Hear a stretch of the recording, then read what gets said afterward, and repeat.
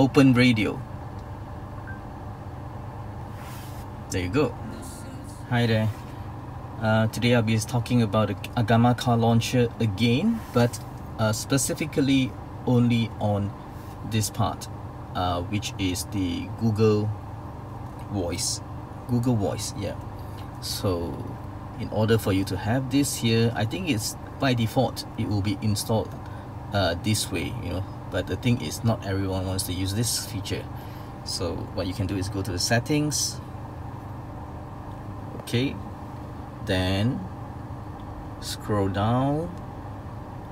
Aha uh -huh, there you go. The quick button Google voice search. You can actually change it to parking time or quick start camera. So say you're using Google search this is how it looks like. Uh, you see that uh, a mic button over there. But say you want to change it to parking time you can do that. So what it will shows you that you have already parked at this area for more than three minutes. Okay? I don't think that is important but to some maybe they don't use Google search uh, Google voice. So this this may be some something else for them to use. So go back to the settings to the quick button again. So you can also change it to quick start camera. So what is quick start camera? It shows a camera. Okay it's a dash cam actually. Um, I have one here but so far I can't connect it to my Android because there is some issue on the Xiaomi app yeah? So what happened is that if I were to click here it should be able to link to my app here so it depends on your apps whether it works or not. So I have not set anything yet so just click on it. So it won't show anything. But it will ask you to find your app button settings. Yeah so I actually can just put in any apps. Yeah it's just a shortcut actually. So I have actually disabled mine. So I won't confuse anyone else. Let's get on with the Google search again. Sorry Google voice. I've keeping keep saying that wrongly. Keep Google voice search sorry. Okay so this is the mic button. So once you click on it it will start listening to you. See? You listen to me. It says listening to you. So anyway that's wrong. That's not what I want to say. Okay let's do something yeah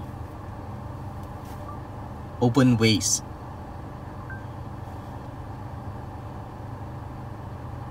There you go. Open space for me. So let's go back to the home screen. Let's try something else. Open YouTube.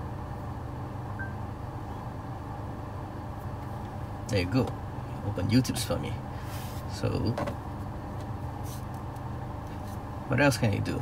Basically it just opens up apps whatever you want it yeah or you can ask questions like where am I? Here's a map of Charon's Selangor. yep. This is this is it. They will show you uh, where you are the map. So you just click on it. You just open up Google map and it shows you where you are okay? Or you can ask is there any good restaurant nearby? Here are the listings for good restaurant nearby within two kilometers. there you go. Okay. So these are the things that you can do. Basically it's just an android uh, google voice search. But the thing is you know it could be quite handy at times when you you are you know tied up with your your hands on the steering you know you you won't be able to concentrate if you were to you know open up your phone to to do this. So or you can just open music.